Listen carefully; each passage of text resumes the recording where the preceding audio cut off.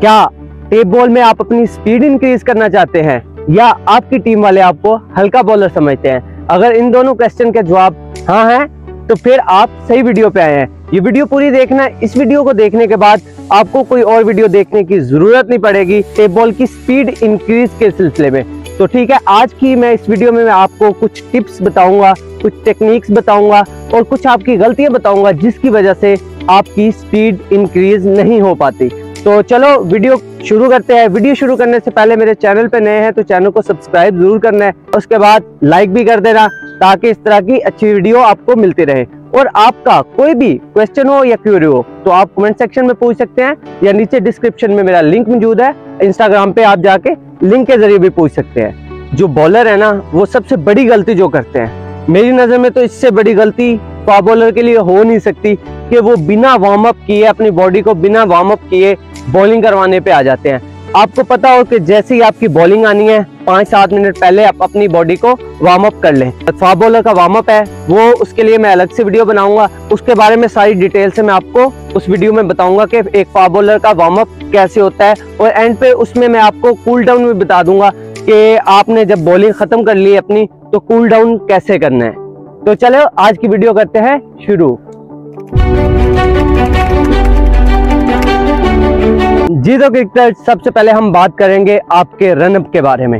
जब तक एक फास्ट बॉलर का रनअप ठीक नहीं होगा, कभी भी उसकी स्पीड इंक्रीज नहीं हो सकती। सबसे पहले आपने अपने रनअप को अच्छा करना है। तो रनअप आपका बेशक छह कदम का है, आठ कदम का है या दस कदम का है। तो रनअप लेना कैसे है, वो मैं आपको बताता हूँ। ये देखिए क्रिकेट जैसे ये क्रीज होगी और ये स्टम्प्स होगी, ये आपका गैप है। ठीक है, यहाँ से आपने अपना रनअप लेना कैसे है। आपने पहला कदम बड़ा लेना है। ठीक है? ये बड़ा कदम लेके आपने यहाँ पे अपना एक निशान लगा लेना है। निशान लगाने के बाद आपका छह कदम का है, या आठ कदम का आपने अपना रनअप ले लेना है। एक, दो, तीन, चार, पाँच छः सात, आठ। ये मेरा है आठ कदम का बिलफर्ज मैं ले लेता हूँ। यहाँ पे आपने अपना निशान लगा लेना है। तो रनअप लेने के बाद आपने बिल्कुल सीधा भागना है। मैंने कुछ फास्ट बॉलर को देखा है कि वो इस तरह साइड से आ रहे होते हैं, कुछ इस साइड से आ रहे हैं, कुछ ऐसे टेढ़े मेढ़े भाग रहे होते हैं। बिल्कुल ऐसे नहीं करना। आपने ये देखे ये आपका रनअप है। ये आपने बिल्कुल ये सीधा भाग। ये ये आपका ऐसे रनअप होना चाहिए। आपने हमेशा बॉलिंग करते हुए अपना रनअप नापना है और नाप के बिल्कुल सीधा भागना है। और ना रनअप लेते हुए आपने बिल्कुल पहले स्लो भागना है।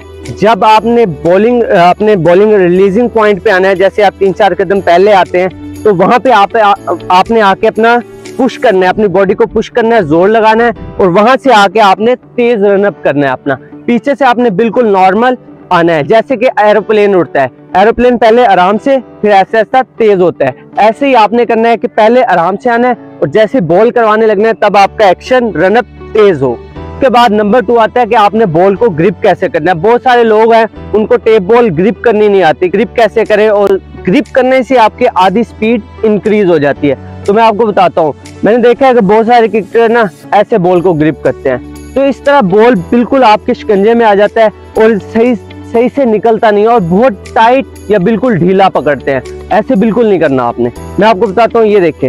ये आपका होना चाहिए। इस तरह आपकी ग्रिप होनी चाहिए ठीक है? और बिल्कुल नॉर्मल जैसे आ, आम रूटीन में बॉल को पकड़ते हैं। इसी तरह ना ज़्यादा टाइट और ना ज़्यादा हल्का। इस तरह बॉल को पकड़ना है और आपने हमेशा अपने रिस्ट को लॉक रखना है। या आपकी जब रिस्ट लॉक रहेगी तो लग के बॉल इंक्रीज करेगा, आपकी स्पीड बढ़ेगी। जी तो क्रिकेटर उसके बाद आपने रनअप ले लिया आपकी ये पोजीशन सेट होगी। उसके बाद आपने करना क्या है कि जैसे ही आपने बॉल करवाना है ना तो हमेशा अपना हाथ हाई आर्म लेके आना है, ना कि साइड से साइड से अक्सर स्पीड कम हो जाती है आपकी। हाई आर्म एक्शन रखना और अपने इस हाथ का भी यूज़ ज़्यादा करना है। ये ऐसे पूरे हाथ का यूज़ करेंगे तो आपकी स्पीड इंक्रीज होगी। तो उसके बाद फिर आपने अपनी ये कमर को थोड़ा सा बेंड करके और ये आपकी टांग सीधी आएगी ऐसे। ये जैसे ये आएगी, इससे आपकी स्पीड कमर लगेगी और स्पीड ज़्यादा बढ़ेगी। ये थी आज की इंफॉर्मेटिव वीडियो टेप बॉल के लिए। उम्मीद करता हूँ कि इन जो टिप्स मैंने आपको दी हैं, इनको आप अपनी जो ड्रिल्स हैं, उन पे इम्प्लीमेंटेशन करें, खुद पे इम्प्लीमेंटेशन करें। तो इनशाला आपकी स्पीड बढ़ेगी। और गारंटी से कहता हूँ कि आपकी स्पीड ज़रूर बढ़ेगी। आप इन पे फोकस ज़्यादा करना है। आपने नंबर वन रनअप अच्छा रखना है। दूसरा बॉल बॉल को सही पकड़ना है। ठीक है? तीसरा अपनी बॉडी को जब आप रिलीजिंग पॉइंट पे आएँगे बॉल के तो अपनी बॉडी से और हाथ से, पूरे ज़ोर से बॉल को फेंकना है। तो ये थी इंफॉर्मेटिव वीडियो मिलते हैं इंशाल्लाह अगली वीडियो में। ओके अल्लाह हाफिज़।